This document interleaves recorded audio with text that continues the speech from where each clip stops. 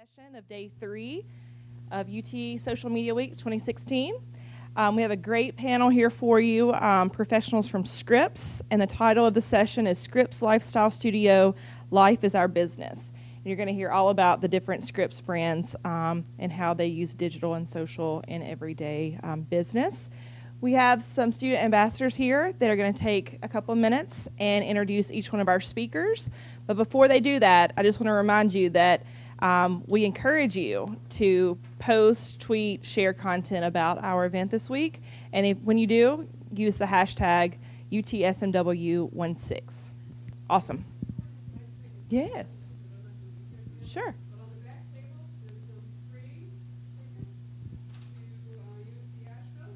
The baseball game today. Yeah. In case you're interested. Yep. All right. All right, so first up we have Nick Hollensbe. Um, he's an executive producer for Scripps Network Interactive, where he leads a range of strategic digital product uh, projects, including social media, social video initiatives, experimental web series, and short form video for HGTV and Food Network's digital platforms. Um, in 2005, he joined the Scripps owned Naples Daily News in Florida, where he served as the senior video producer. He earned his bachelor's degree in computer science from the University of Kansas and has received many accolades for his online video work, including a Webby Award for the online video series The House Counselor. All right, next we have Mariel Clark. Mariel S. Clark is editorial and programming, programming director of the lifestyle brand websites for HGTV, Travel Channel, DIY Network, and Great American Country. Mariel leads the home and travel categories, digital editorial strategy and growth, generating ideas that attract a greater audience and increase revenue. Before joining HGTV, Mariel served as editor, editor of New York News website and as television producer on, on award-winning series for Food Network, Oxygen, and Discovery Channel, among others. We also have Mallory Ziglar. Mallory Ziglar is a community manager at Scripps Network Interactive who helps manage social media for HGTV, DIY Network, and Great American Country. Before joining Scripps, she worked on the social media teams at AutoNation and Lynn University in roles that centered on content creation and storytelling. At Scripps, Mallory was a part of a team that launched HGTVGardens.com, a community focused gardening resource from HGTV. All right, and lastly, we have Dale Jolley. He is a social media manager, home category, Scripps Network Interactive, a social media manager for Scripps Network Interactive home category. Dale's passion is building and growing communities and conversations in the digital space. Dale has developed a diverse range of experience that he uses to engage and connect with consumers, influencers, and, con and content seekers across multiple platforms. And I guess I should have introduced myself too. I'm Courtney Childers, um, and I will be moderating the session today. So let's give a quick round of applause to all of our Scripps participants. Are ready?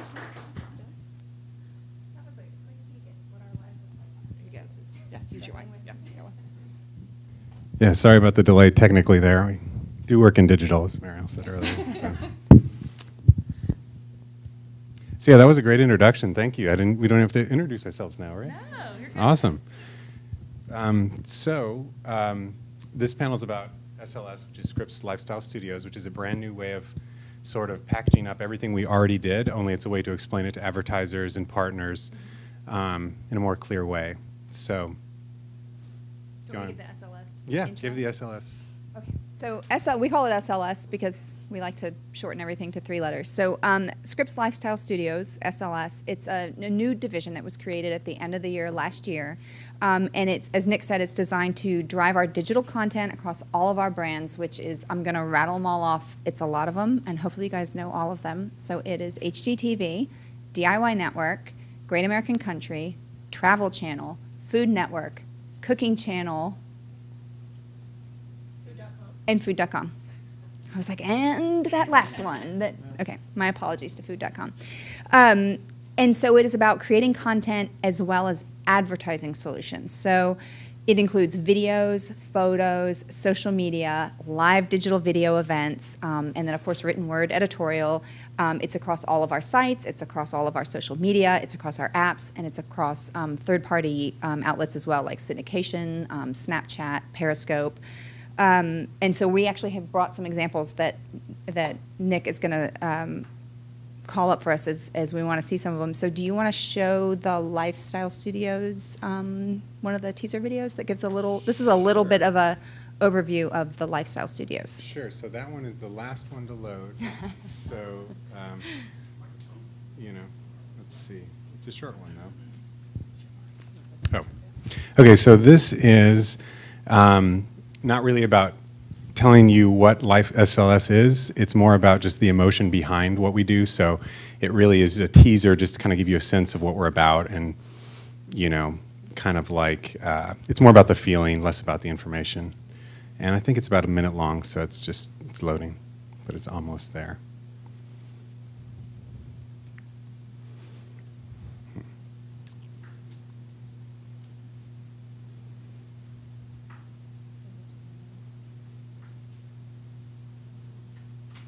While we're waiting for it, does anyone have any questions about Scripps Lifestyle Studios or you guys can jump in anytime, just as we say things. If you want to know more, just go for it. And while it's loading too, it might be helpful for you all to know your audience. Mhm. So um, I know that we have a class in here from Haslam. So raise your hand if you're business majors. Is that right? Okay. There we go. Lots of business majors in the class. Right. Um, advertising students in, in the in the session. I see you all too. Public relations. Here we go. And com studies maybe. Any others? Did I miss any other majors? Tell us. Information sciences. Well, welcome. Thank, thanks for being here. Oh, Oh, yeah. yeah, journalism too. Awesome. Good diverse group. Okay. All right, I think we're good to go. So again, this this was launched um, right before we announced what Scripps Lifestyle Studios was, and um, it was uh, the very first thing we officially published as Scripps Lifestyle Studios. Life is our business. That makes us a different kind of digital content studio. We're different because we know that life is what happens when meals make memories, when houses feel more like homes, when getting there is as much fun as being. We're unique because we get that life is better when people practice what they preach, walk miles in many different shoes. Never stop asking, what if? Our teams do that every day because life is what we do. Our lifestyle focus puts brands at the heart of life's decisions, big and small. At the center of moments where ideas become actions and promises become plans. We entertain and inform, and then we go further. We make content that matters. We help people make life better. And that's why we do life better than anyone.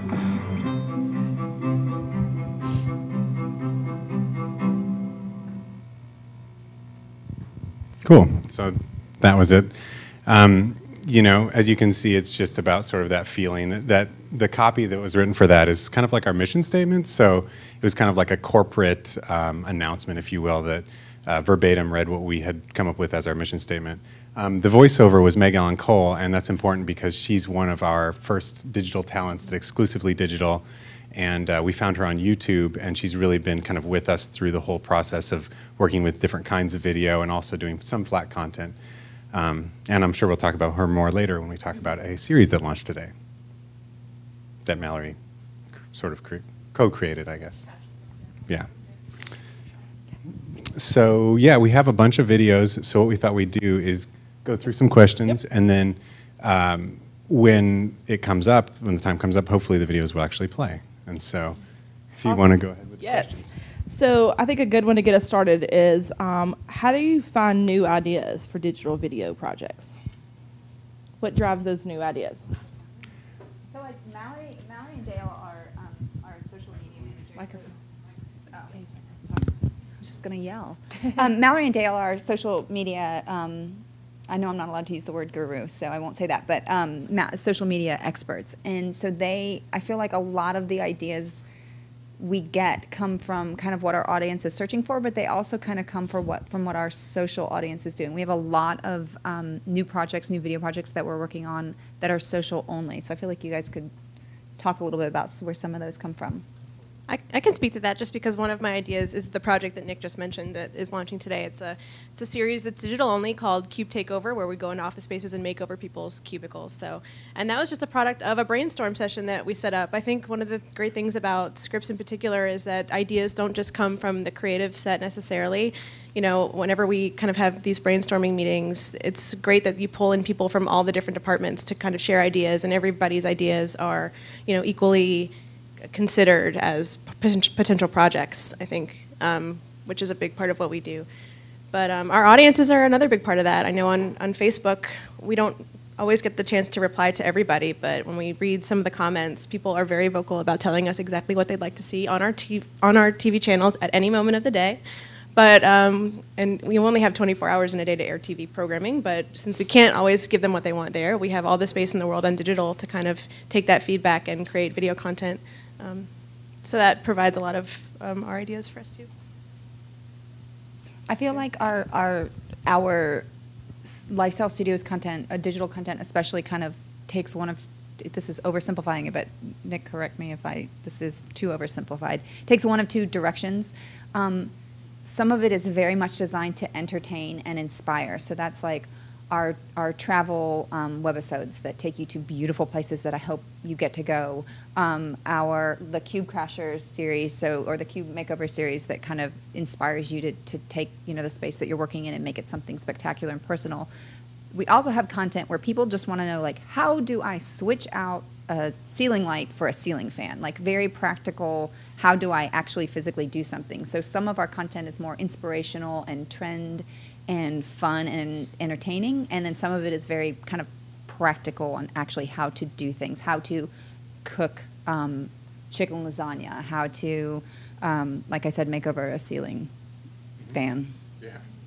That was a really glamorous example. Um, and one thing I'd add to that, besides you know the fact that we really do kind of take everyone's ideas, uh, everyone that works at Scripps is very creative. Almost everyone's passionate about lifestyle, either home, food, or travel, or all three. And uh, so I would say to everyone, like another way we find ideas is by finding digital talent already doing some cool stuff out there. I don't know if anyone's ever like published their own stuff for life in lifestyle media, but a lot of times we find someone that we feel like is kind of got a voice or a perspective that we think it matches ours, and so we'll partner with them.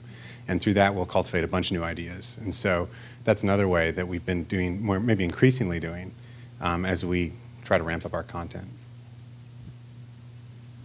So, how do you work with content creators? Um, That's a good segue. Yeah. Any tips for creators who might be doing um, lifestyle media on their own? Because um, I know that our students are really, really interested in the kind of the buzz term of content creation. Is, is anybody doing their own lifestyle media stuff? Anything in food or home? Blogging or Blogging? video? Doesn't have to be video? Nobody. Half hand. Yeah,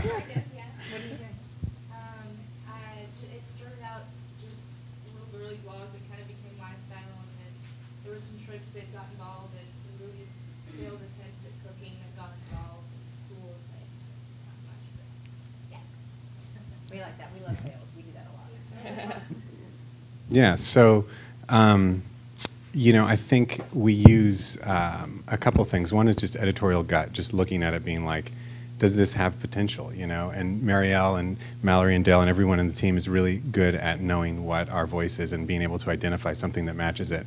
And the second thing we do is we use data. And that's something we've been doing more and more of. So um, a couple of the projects that I that I helped launch, one of them HGTV Handmade, where we worked with crafters. We used data, um, a lot of data. I mean, we sorted through, um, you know, hundreds of thousands of creators and tried to identify ones that were on the rise so socially, and then took that list of about 10 to 50, and then started vetting them with editorial gut to see which ones are at the top. So a lot of times we use data so you know, we don't only use data, we never look at someone's social size and say like, oh yeah, they're a star, so we definitely want to create video with them or we want to create content with them. We definitely um, do look at it and it's a way to surface new people. Um, so as you kind of have your own social footprint and you communicate socially on social media, it does kind of play into our finding of new people. Um, so it's kind of a combination between data and um, editorial judgment. So what, when you talk about data, um, I think that's a really um, important issue right now with digital and social. Um, what tools are you using in terms of aggregating that data or um, being able to maybe identify influencers in your space? I feel like Dale has some, you have some slides that show some of the numbers. don't Ooh, is this a good segue for your slides? Sure. I mean, that kind of ties into that, so yeah, we can, we could run them now. Sure. Okay, so Dale slides without video embed. That's got to be it. Let's go to presenter view. Ah, look at that. All right. So, I'm not sure how, this may not really tie into your question, but we'll, we'll, we'll may get, get to it in a roundabout way. But, so we do have a lot of tools. Um, this is more outward um, consumer facing, but I mean, it's always a way of kind of identifying our influencers. I actually, part of these tools does show um, influential followers, um, people who are more passionate about our brands, but um, I don't know if, you, I'm sure you all, who, who watches Bravo? Do, um, you've probably noticed um, a lot of times during encores of like Real Housewives or anything like that, you'll see Twitter scrolls um, that are pretty prevalent. Um, we've done a lot of that in the past couple years, and those work really, really well for us. So um, we're able to create event-driven um, viewing times where we can actually get people more engaged by pushing them to a hashtag and having them interact with our shows using that hashtag for a chance to see their, their tweets on air. So that's a good way of identifying people who are really passionate about the brand and servicing those higher influential people. Um, sure. Um, talking about influencers, um, talent is probably our hugest influencer section because you know they're they're highly incentivized. They have their own built-in fan base. Um, they're very connected. Our talent is very social savvy. They're very engaged. Um, they get the value of social, um, so they're constantly reaching out to their fans, and um,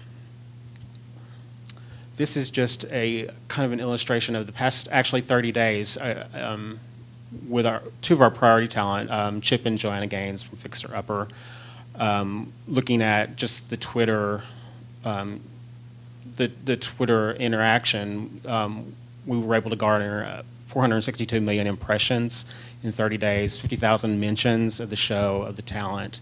Uh, Property Brothers, 111 million impressions, 20,000 mentions. Um, so that's just that's just kind of a way that we um, utilize our talent. Um, and like I said, they're a great um, section of influencers, and we have a direct line to them, so we can kind of hit them up for assets um, and digital resources um, to help us promote our shows. And that's kind of along the lines of what Nick does, but it's more of a raw, gritty experience. Um, for instance, um, if we know that Chip and Jo are filming, we can hit them up and say, someone turn on their iPhone and let's see some outtakes from Chip or someone give a shout out to their fans. So we're able to utilize a lot of that content on social because it works well in that space. It doesn't have to be polished. Their fans are really passionate. They want to see the, the gritty side of what our talent are doing as real people. So um, that's been a good way of um, kind of partnering with our talent um, to get that kind of content that um, promotes their shows and promotes um, any kind of destination viewing that we're trying to get out there. Oh, yeah, what tool do you use to get this data? Yeah, yeah, I was going to ask Dale if you wanted to talk about like what tools you use to gather all that stuff. Yeah, so we have a partnership with um, Adobe, Adobe Social, um, who does all of our uh, social media publishing. So we're not constantly having to work 24/7. We actually get to sleep, so we can we can schedule posts, which is really nice. But uh, another portion of, of that tool is that we get a lot of metrics reporting, and we can see um, all of our from all of our um, popular hashtags what things are trending, um, what days they're trending, what people are saying, and we can kind of take that data back and, and manage it up to our programming team and, and to Nick and Mariel as far as what content we think would work well in the space. Um, this is just a look at some of our celebrity fans, and and it really doesn't have. I mean, it's definitely a, a major influence type of conversation here, but um, it's just cool, and I just wanted to show you. um, so, as we're branching out and as we're kind of using more interactive tools like on air on our Twitter scrolls and polling, we're, we're seeing that our demographic is lowering. We're actually reaching you guys which is actually awesome. That's kind of our goal. And just a, a, an evidence of this is, you know, we have a lot of celebrity fans who watch HGTV, and they're marketing back to their audiences, their fans, about their love for HGTV. So that's lowering our demographic, it's expanding our reach, and it's kind of inserting us more into pop culture. No, this is totally organic. This is yeah, this is totally organic. These, these are these are celebrities who love HGTV. Hers was a case where um, her closet was featured in an editorial package that we launched, and I think she was giving a sort of a shout out to her designer who did.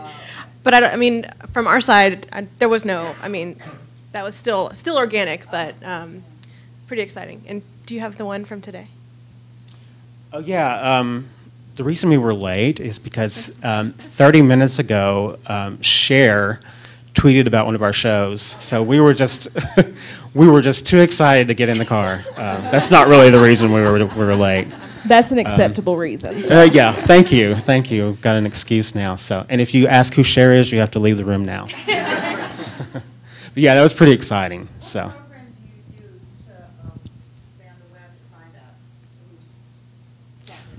So Adobe does a lot of that for us, uh-huh, and we, we also have um, a license agreement with Sysomos, so we're able to kind of see sentiment and see some of those trending and, and things like that. And plus, to be honest, Mallory and I are constantly looking at it. So a, a lot of it is just manpower. um, uh, you know, I would say 85% of it is is tools that we use, but a good portion of it is we're on there all the time and we're and we're checking and we're looking. So, um, can we not? Can we play video? Yeah. Uh, do you know what the? I wanted to play is? video one. Um, just going back to um, video one. Got it. Let's see if I can get rid of the interface there. Perfect. Yeah, going back to what I was saying about our on-air scrolls, I, wanted to play an instance. Um, so New Year's Day is when we really do a big push to these kind of event viewing things. Um, we do on-air promos um, asking people to engage with our hashtag, which is HGTV New Year. We enlist our priority talent to tweet all day on New Year's Day. That's how amazing our talent is. Then they, they do it. Um, so, and then, and then thirdly, we display um, users' tweets on air all day during New Year's Day. So there's like a trifecta of, of incentive here for our fans. They, they get to see their tweets on air, they get to interact with their favorite talent. Um, so this is a case that happened actually New Year's Day. We, um, does anyone know who Ellen DeGeneres is? um, so Ellen has a, design show with HGTV, um, which actually just finished for this year, coming back next year, so stay tuned. Um, we were able to work with Ellen's social media team to tweet on New Year's Day. We were able to capture that tweet, display it on air on HGTV New Year's Day during one of our highest viewership moments. Um, so if you were sitting at home on your couch watching HGTV, this is what you would have seen come across your screen. And pay attention to the lower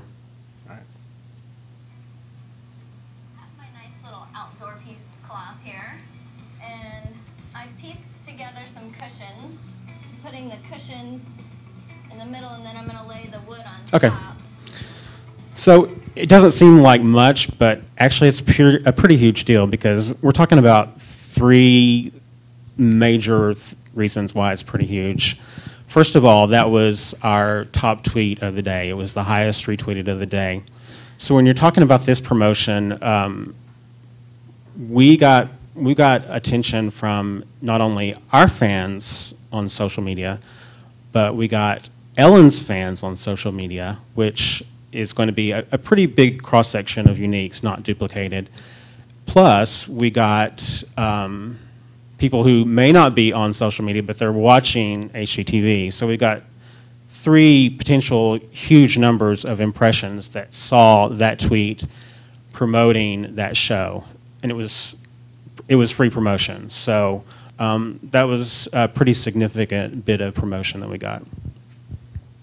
Cool. You have a second video on there. Did you want me to play? Yeah, that? I want to play that one video and then I'll be done and we can talk about something else.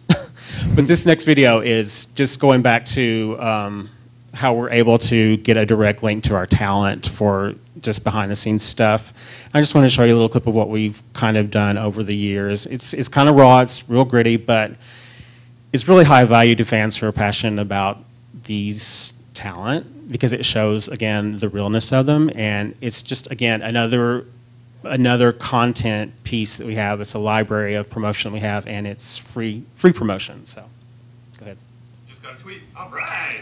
Says the brothers are my favorites on HGTV. That's so sweet. Thank you. So me and Chewy want to thank. I'll let you guys scratch it first.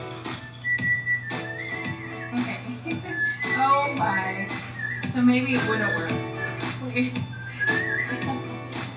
Hey, October 11th, 10 9 Central. That's the time. Get in where you fit in. Why? Because Vanilla Ice Goes Amish, season 2. You don't want to miss this one. The adventure continues. Nice. Okay, see if I'm any good. Yeah! Woo! Strike.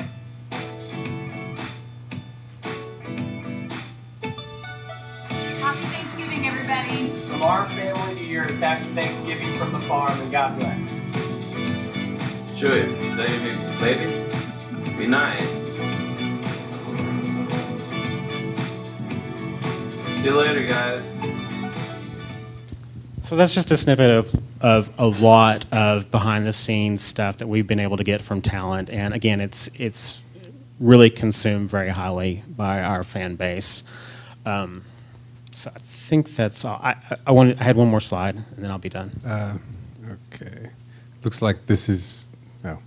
No, it's not on the screen anymore. oh, we can move on to something else It looked like the fourth slide's the last one, so the one with the. Yeah.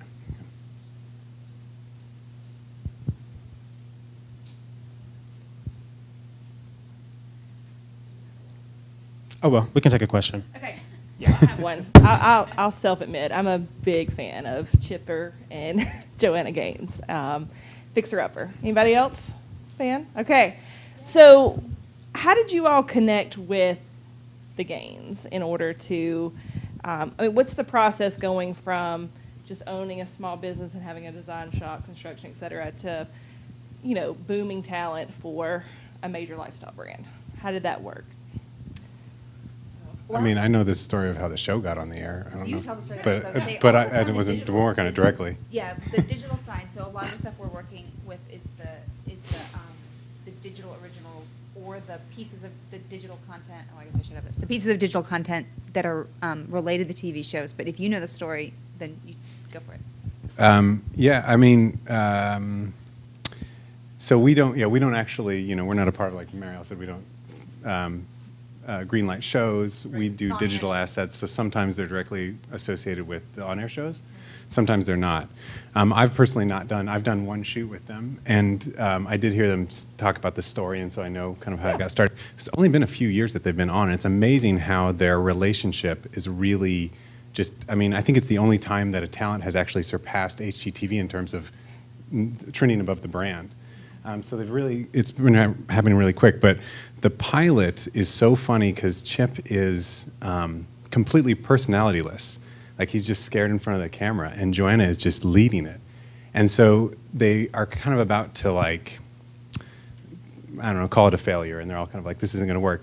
And the last day of shooting, they got this um, boat that Chip had found that was kind of ended up being a disaster. And the two of them just kind of made it work on this boat for the last day. And because he stopped thinking about the cameras, it's like this magical connection between the two formed. And that day, the producer was like, okay, this is definitely a hit. Like, this is exactly what we need to be doing. So it almost went from this terrible thing to, a, to an amazing show. And then, you know, it's just, as far as how they developed the show, I mean, I think it's just developed around the relationship. So do you, um, because I know that both of them have a very large following on social media, because they're they're basically a brand themselves, but they also represent the Scripps brand as well. How how do you manage what they can and cannot, or is there any type of social media policy with your talent, or do you offer like training for them? Um, I think this is a interesting perspective. So. Um, so they're a unique case in that they were kind of a brand before they came onto our brand, like you said. Um, and we do have policies for talent. Um, a- and I guess the great thing about Chip and Joe is that they've been very easy to work with and very, they haven't lost their heads um, with, with the fame. So they've really kind of stuck with our guidelines. And it is a give and take because they do have their own business that they're trying to promote. So they actually have several businesses that they're trying to promote. So um, we've kind of made them aware of, of that line um, from the very beginning, and, and they haven't crossed it because I think they understand what we bring to the table in terms of um, our promotion for them and, and what we can do. So um, they've been a great partner, um, and they've really kind of we haven't had to do any kind of um, have any kind of special talks that we've had to have with other with other talent. To be honest, so they're just great people. So we've been lucky, um, and they follow our policies. And we won't ask you to identify those trouble, troublesome ones. Um, I do think it's important, though. We have a lot of students in the audience, um, and I'm sure that you know Scripps being a big name, especially here in the Knoxville community, was a was a big draw. As, uh, in addition to you four as well. Um, so these students are really interested in what can they do to be sitting in the seat where you are in a few years. Um, if you wouldn't mind, while we're working out this uh, tech issue, just walk us through maybe your path to where you are today, how you got your job at Scripps, what you think are maybe the best um, and most important characteristics for a graduating student that's about to approach the job market. Well, for me, you know, being in video production, there's way more tools available now to be able to publish yourself, and so that would be my first thing is to, you know, be very proactive about finding what you're passionate about and then and then producing it. Um, if you want to do anything in video, I think that's really important. And when I look through contractors or job candidates, it's definitely not super important. It's polished. It's that you know, do they have a voice? What are they What are they interested in? Are they passionate about? what they're doing with whatever topic, whether it be home or food or whatever. So that would be probably my first piece of advice. I was going to echo that. Um, you know, as, as young people with every access to publication you could really dream of, you know, at your fingertips, is to kind of take ownership of your presence online or you know wherever the uh, the environment is that you're interested in. You know, I mean, it's really for us, it's digital, so it's online. But you know, if you don't own your domain name on the internet, you should buy it uh, or a version of it. Um, if you don't own your online presence and how you present yourself, um, I think it's easy for that to kind of get out of your control. So like Google yourself often, control your online uh, identity, kind of build. I mean, it's you probably heard it before, but sort of work on slowly building your brand, even if it doesn't have to do with professional work, even if it's school work. Make sure it's visible and easy to find for employers. Um, you don't want people to have to go searching hard, you know, to find stuff about you. So, but when they get there, you want them to find stuff that they can be impressed by. So. And I would definitely recommend trying to get an internship at Scripps. We have awesome internships, and if you go to Scripps Networks Interactive, they're all listed. So I would do that. They usually turn into jobs, and they're paid, so it's awesome. Are they? I don't know if they're paid. They're mostly paid, right? In, in, uh, in our group, they are paid. Um, I don't know if they usually turn into jobs, but I can tell you we have definitely hired. Um, we've had some amazing interns. We have quite a few right now, um, uh,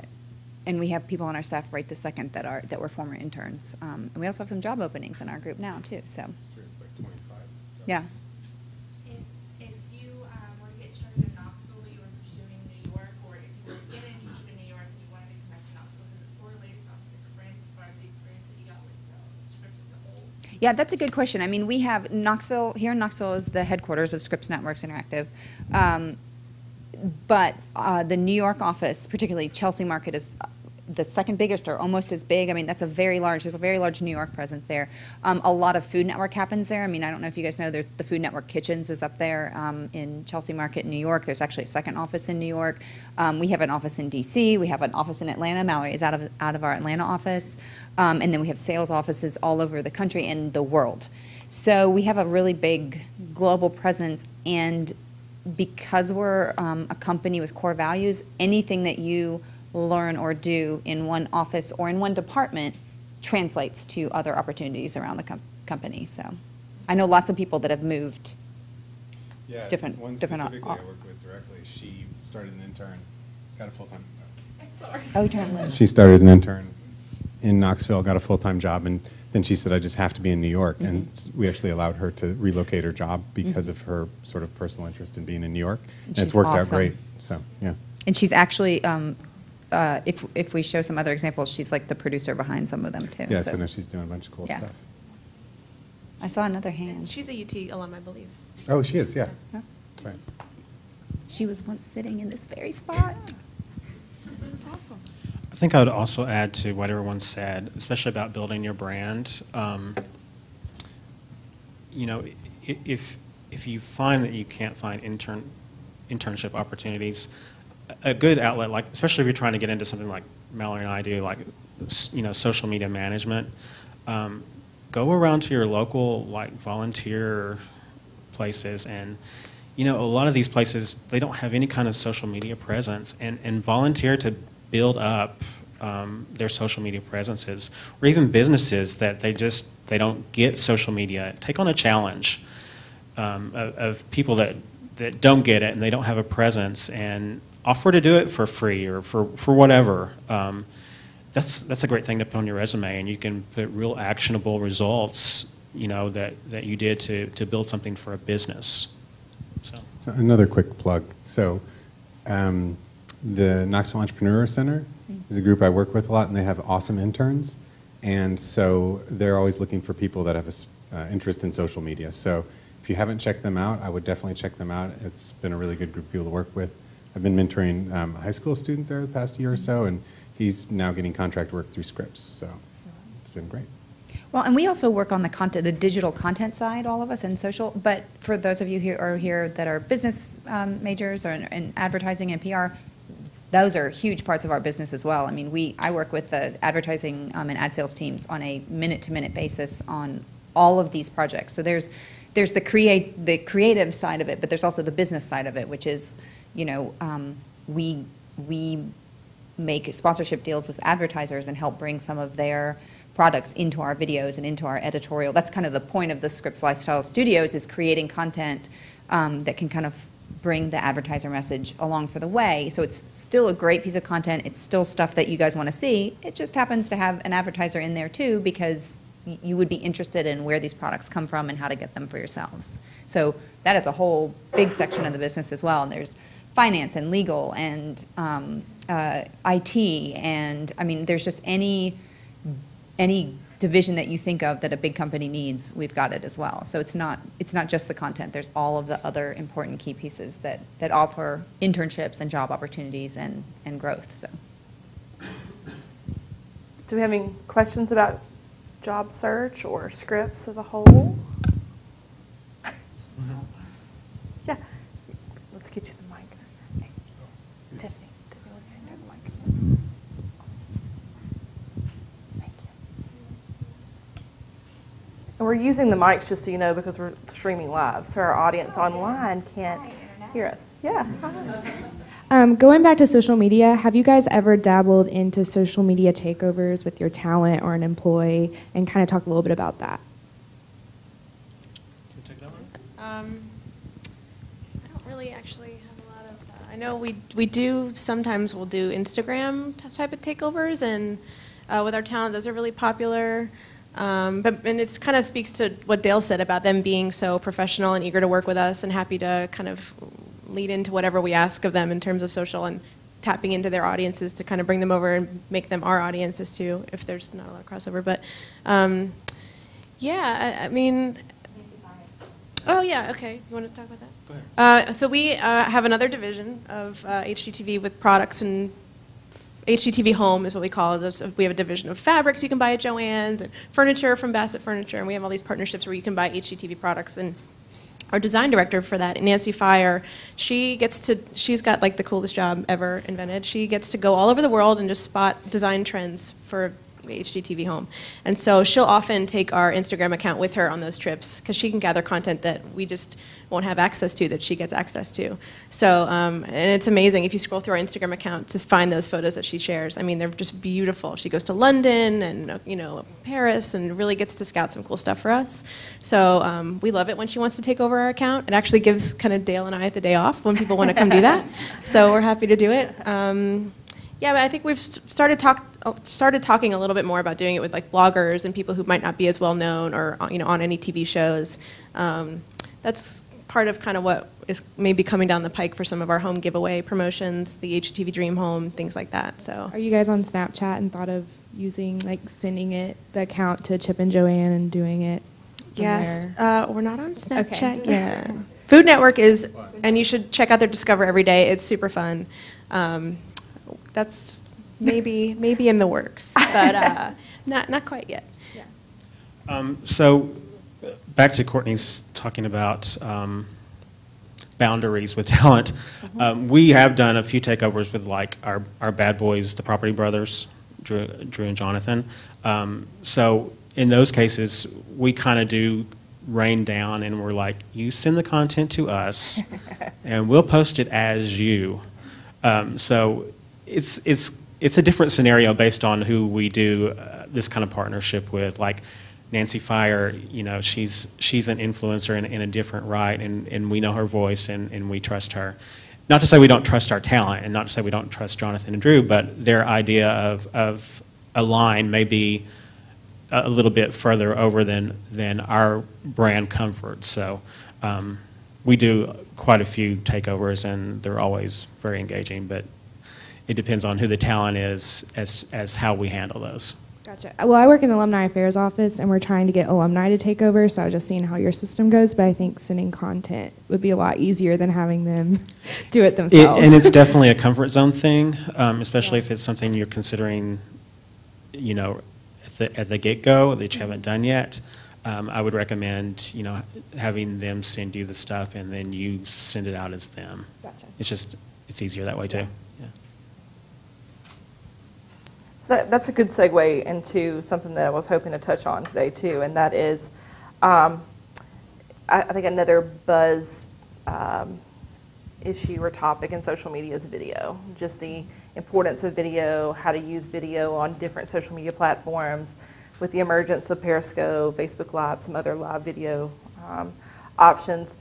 Where do you all really see um, is live video something that really fits into the script? Oh, perfect. okay, great, awesome. I'm glad you asked that. Yes, awesome. Um, yeah, so you were asking about video in general or live, live video? Both, uh-huh. Okay. Mhm. So um, we're really excited about doing more live video through social because it seems like a completely different thing than what television production live video is. You know, television production live video is a huge process. It requires a lot of resources, and it seems like social live video is what's really doing well is the opposite of that. It's things that kind of unfold on the screen as as they're really happening, and the users are kind of helping to shape the story or whatever it is that's happening.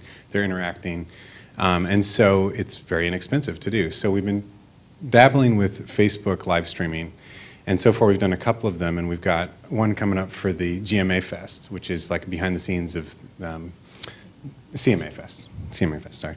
Um, the Country Music Awards Festival. Um, and Jonathan Drew will be hosting that. Um, so, anyway, our first experience doing it was a cookie party before Christmas, and Mariel actually moderated the comments. Um, I was just going to play a clip from it so you can kind of see. This is this is us, yeah. We had a group here, here ooh, we're here in Knoxville that were live in our studio, in our Scripps Lifestyles studio, studio, um, in the headquarters, and we were having a live ultimate cookie party, and it was going back and forth between us and Food Network. So we would do a live segment for like 25 minutes, and then they would go on and do a live segment for 25 minutes. And as people, as our users were commenting and asking questions, we were answering them live on, not on the air, on Facebook. So that's just kind of the setup. Cool. Um, let's see.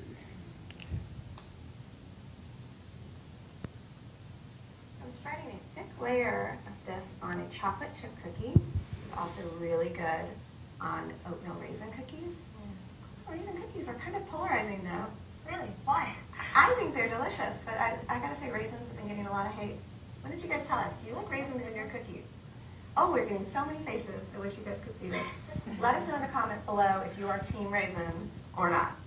So we just So there was a lot of produced moments. There was a, like Mariel said, it was like an hour long, I think, total. It was five segments between us and New York.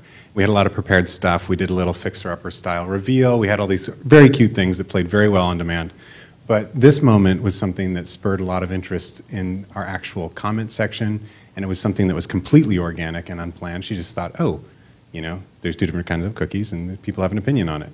And the fact that it was clearly not scripted and off the cuff, I feel like did really much better than some of the other pieces of the show where we were very scripted and very prepared. Um, so that's why I played that. Um, so yeah, so I think we're going to do more of this. It, we feel like it did pretty well. We, we got almost 2 million views. We had 12 million concurrents, uh, live streams at, at, our, at our peak. Um, and uh, we didn't do a whole lot to promote it. I mean, we, it was kind of an experiment for us. So it was kind of a first thing to see if users are interested in it. And I think we walked away thinking, yeah, they're definitely interested and we want to do more.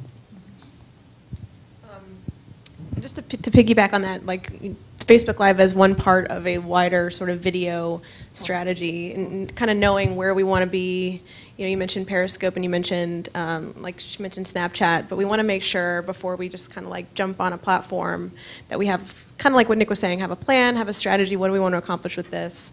Do we have the manpower to staff it? You know, can we create as much content as can we feed the beast of content that comes with starting a new platform like um, Snapchat? So I think um, that's kind of important. Well, and, and Food Network's doing.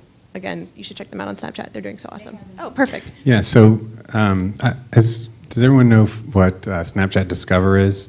It's the brands that appear in little bubbles. You They can probably tell you what that is. I'm Yeah, I good was say. I don't know. This is your expert. So, so um, Food Network normally operates on longer production cycles than a single day, and so starting the Snapchat account required that they staff up. They have actually a Snapchat studio. They call it Studio H, which was actually just an office, and now it's a studio.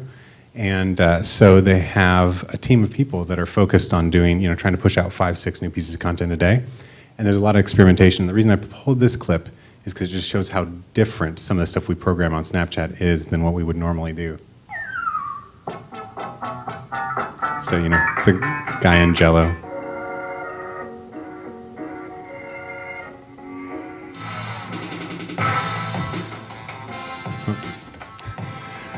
So these would be the top snaps where you, you know, you scroll down and you see more, more stuff. So clearly, you know, we're creating for the platform, we're trying out different stuff and seeing what works there. I'm like looking at a sponsor integration opportunity that was lost. that brings up a good point, though. It because may a have lot been. of what we do, we want to, like we said earlier, bring the sponsor messages in with it. So I'm actually looking at that and I'm like, oh. I'm looking at that and I'm going, oh, that was a sponsor opportunity that we did not take advantage of. But so there's a lot of times when you'll watch our content and you'll you may see a brand name, um, and it's was kind of part of a sponsorship, or sometimes because we're we're food and culinary and travel and home experts. So a lot of times we just tell you what we think the best product is. Like if you're making, you know, a spam burger, you can't do that without spam. So sometimes we'll say, like, go buy a can of spam. We'll probably never say go buy a can of spam. That won't come from me. But um, but so sometimes we're recommending the the best products out there for your home, or the best colors for your home, or the best, you know, hot sauce to make this particular um, dish. Um, and then other times, um, we have a dancing can of whipped cream that could have been. Am I allowed to say sponsor names? Could have been Reddi-wip. Ready Whip. It could have been you. Um, Well, did you have this- a Periscope example too? Yeah, sure. So Periscope is another one that we're definitely experimenting with in a much less formal way than Snapchat. So, uh, you know, talking about takeovers, that's almost how Periscope works at this point. Um, we've done it with a lot of the big talent where we maybe have one someone from our team, like Abby, there with them, or sometimes they don't have anyone with them and they just go live on Periscope um, on our behalf. Uh, this is one of the cases where they didn't have anyone with them, and this is Meg Ellen Cole, who's one of our digital-only talent. Um, Hello, everyone. We are here in Brooklyn, New York. We're in my studio. We've been collabing. I'm doing a whole office makeover. That's why I brought in this guy right here. I created this little space over here. Are you ready? We literally, I just finished putting this up. Amazing modern modular storage unit made by Dan. Dan Made will be on Handmade next week. Organization Organization is key. key. You're right. The Hand best praise. button ever. I love it. I love Thank it. So that was edited. It that wasn't a live feed, but um, you know, I think one of the things we've been doing since then is trying to be more responsive to comments and letting those maybe tell the story a little more. Because in that instance, there was no response to comments like in a lot of the periscopes. But um, but yeah, I feel like you know there was almost no resource required to do that. It just Meg turned on her phone and did it, and I feel like it added some value. So I think Periscope, I would say, is another thing that across the company we're just kind of experimenting with and dabbling, and just another way to add value for viewers. Might be a good time to show too um, how we consider a piece of video content for our websites, but then we have to think about ways we want to cut it and shoot it for all the different social platforms. Um, you know, because video has become almost three or four times what it meant to us last year. I mean, the volume of video that we're posting on social has tripled or quadrupled. Um, you know, because of sites like Tasty on Facebook, I'm sure you guys have all seen, or uh, Nifty. Uh, BuzzFeed has a lot of these sort of channels that are very niche. Like, uh, there's another great one called Top Knot. If you're into hairstyle stuff, it's just hair videos. It's on your Facebook feed. So in response to that, you know, we've kind of had to learn what uh, formats work best on what channels. So, um, you know, we we now can take a, a video, a digital original shot for HGTV.com, cut it down into a square, add some text if you're going to watch it on your phone on Facebook without any sound, so you can kind of know exactly what's going on. And then we can cut that even further to 15 seconds to put it on Instagram, which they're just going to launch 60 second videos um, coming soon. I, we just heard the announcement this week, so that's exciting for us too. So um, we kind of, I brought um, the latte art one. Yeah. Oh. There's one that says web. Perfect. Got it. Let me play it.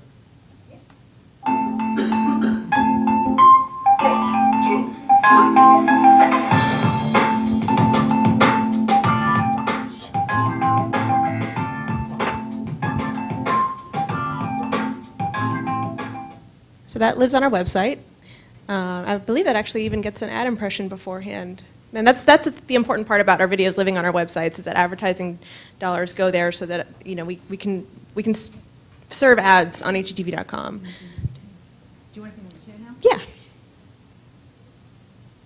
So this is the Instagram version. Same, but square, easier to fit on your phone.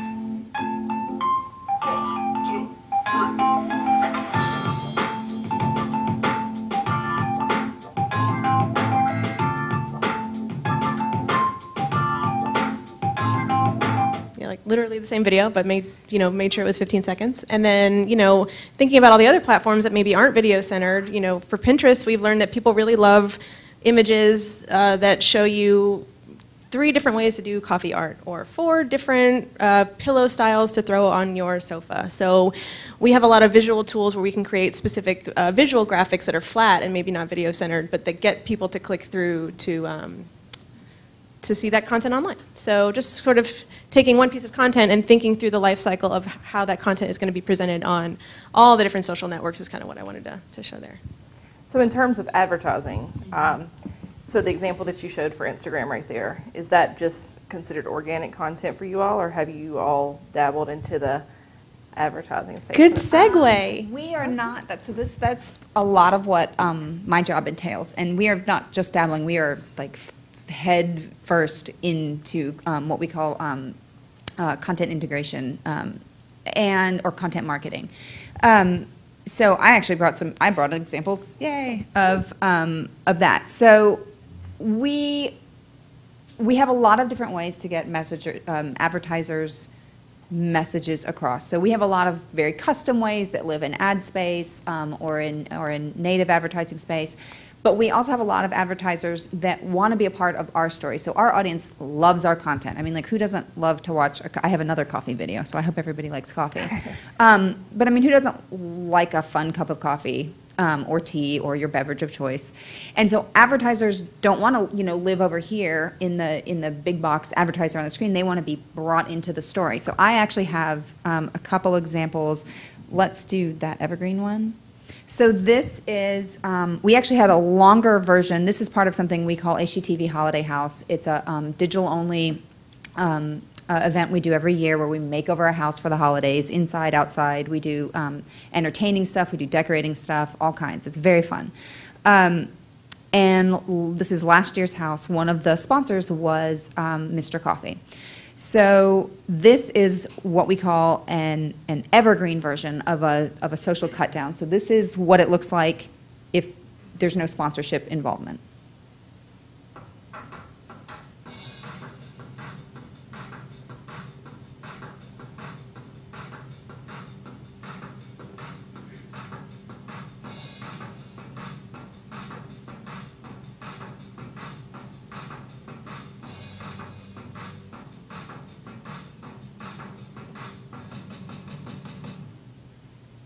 So that was a part of our content. It's something we wanted to do anyway. I mean, it was it was a spiked gingerbread latte.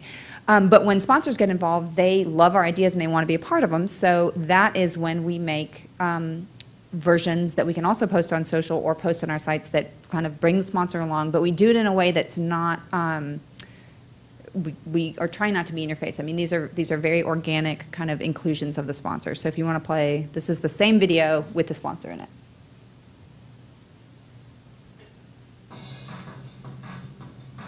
Mr. Coffee.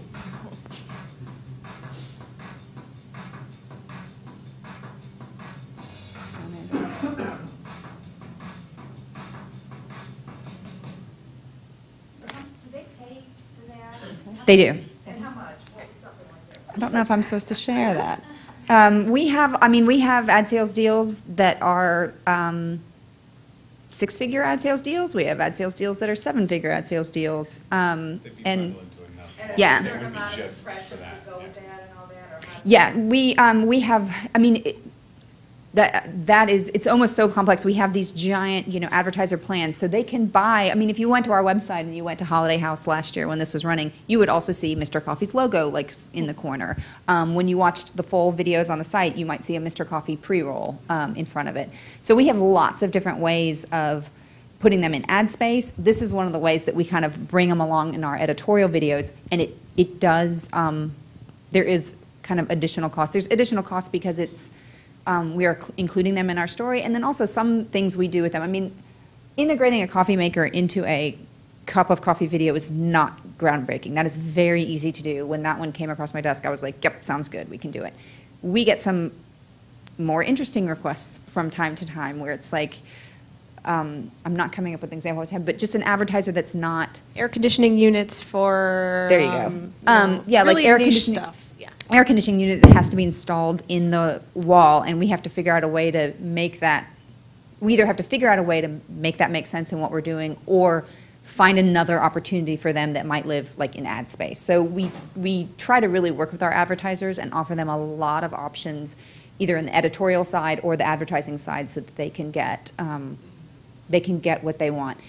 If they if they lean more towards the ad space, I think it's um, more it's a little more expensive, but they get a, mo- a little more say because it's it's very obvious that it's an advertisement.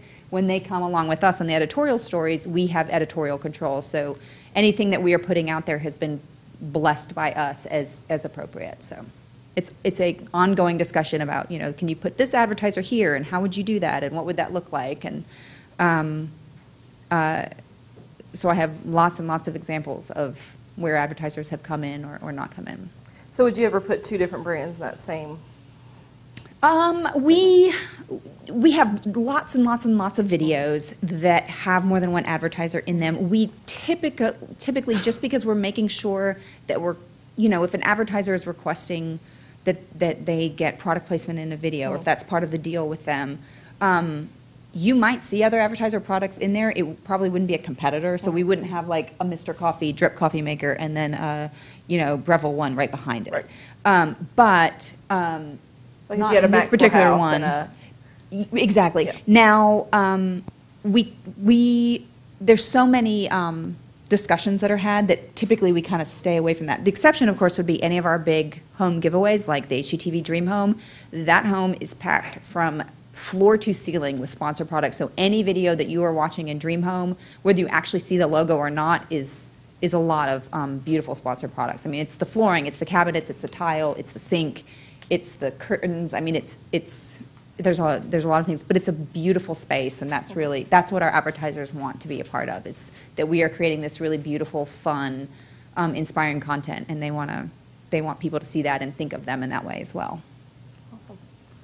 So we have about seven minutes left. Want to open it up to some questions? Here comes the mic.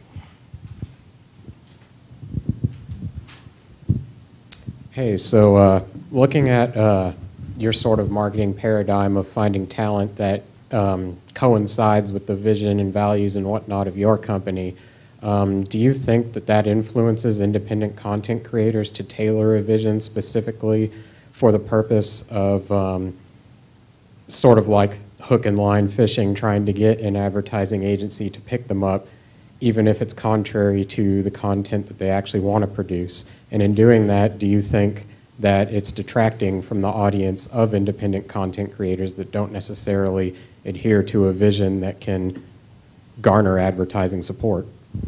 I want to make sure I understand the question. So you're saying that that some like a YouTuber, for example, like if they're starting to make their own content that would that would um, be great for Home Depot. Is that what you mean? So like independent creators. Yeah, to an extent.